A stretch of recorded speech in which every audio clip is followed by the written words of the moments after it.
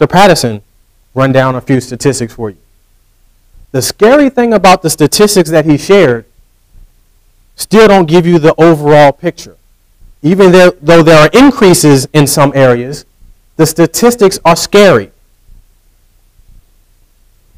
When I was looking at being an NBA player, I didn't know the statistics that there were 540, 545,000 high school players, 17,500 college players, and 60 get drafted into the NBA. Those aren't good odds to begin with. Right? So the odds are stacked against us.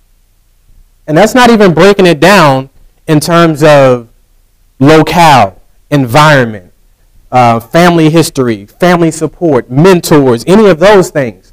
So think about that from a standpoint of being alone or isolated and then looking at those odds. According to statistics, almost 50% of families headed by a single female parent are in poverty. My mother raised me and my brother on her own. My father was wherever he was doing whatever he was doing. The odds were already stacked against me. One in three African American males will spend a significant amount of time in prison in their lifetime. I saw it on your board over there. It said one in four. It's one in three now.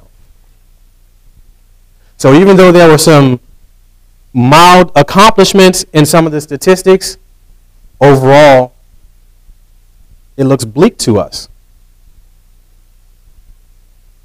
So if you look to your left at that brother, you look to your right at that brother, one of them will spend a significant amount of time in jail, according to statistics.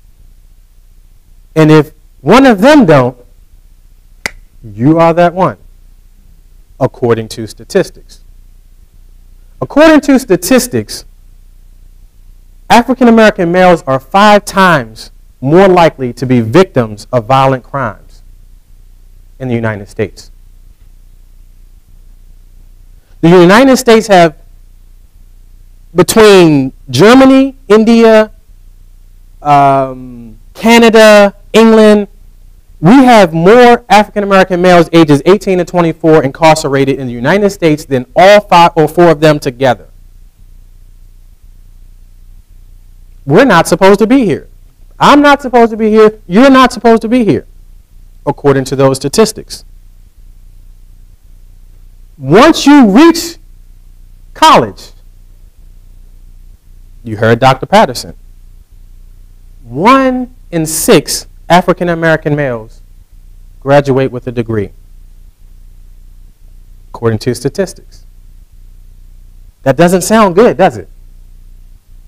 So that means you look down your row, one of you will graduate, according to statistics.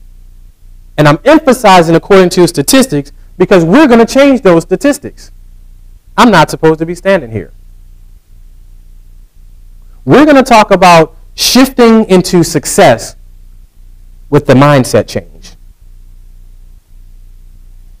I had every reason, every excuse to fail and to be okay with that. No one would have questioned it. Everyone expected it because they would say it couldn't, he was just a statistic. I became the first male in my family to graduate high school. If I dropped out of college, I was still a success to my family. I was the first male in my family to leave Baltimore. That video, that's why. I was the first male in my family to graduate college.